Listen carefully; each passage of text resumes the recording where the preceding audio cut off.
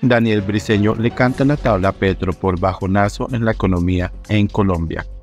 Cumplió su objetivo. El Departamento Administrativo Nacional de Estadística DANE reveló este jueves 15 de febrero cuánto creció la economía en Colombia durante 2023, dato que causó bastante sorpresa. El Producto Interno Bruto PIB del país solo incrementó en 0,6%. Como era de esperarse, las cifras entregadas por la entidad provocaron varias reacciones en las redes sociales, donde para muchos este porcentaje evidencia la debilidad de la economía.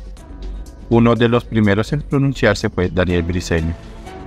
El concejal de Bogotá puntualizó en su cuenta personal de X que el presidente Gustavo Petro cumplió con el objetivo de desacelerar la economía en Colombia, ya que recordó que durante 2022 esta creció cerca de 7 puntos porcentuales cumplieron con su objetivo.